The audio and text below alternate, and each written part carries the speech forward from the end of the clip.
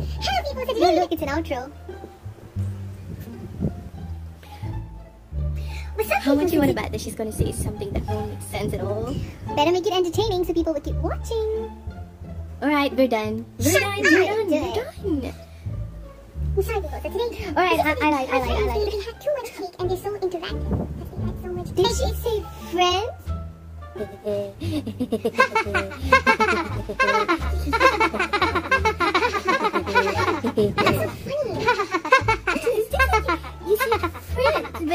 you.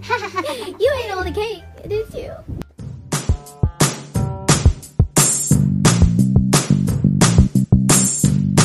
Welcome back. So today, how is everyone doing? Is everyone doing fine? Um, if you want to check out the previous video, you can go and check it out there. And before I proceed, don't forget to subscribe because I need you to do it. All right. Anyway, today I'm going to be talking about a letter which I had gotten from a cake. So this is what the cake told me. Its story.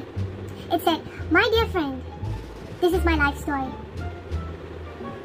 Creamed up and beautified, the main attraction of the baker's hands, honored by all pastries and cakes. Even the biscuits wanted to be on me, and they even wanted to be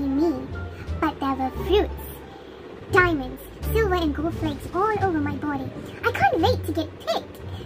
I'm going to be so loved. I heard the baker say, children love cake, children love chocolate cake. That's me, the chocolate cake. Precisely, I am Misami Miyamoto's diamond chocolate cake. I saw a few people walking past me, gasping like, ah, ah, what's that? And I must look really beautiful, but they didn't pick me. I was starting to feel like I wasn't good enough.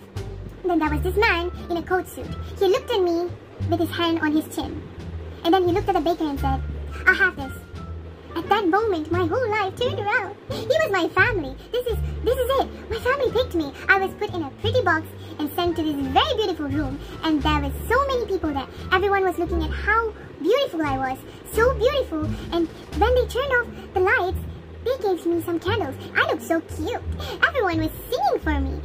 I felt a wind blow and then the lights went out again. I was stabbed. I thought I was dead. And the rest of the video will continue in part 2. Thank you so much for watching and please don't forget to check out other social media accounts and as well as comment below your favorite cake. See you in our next video. Take care!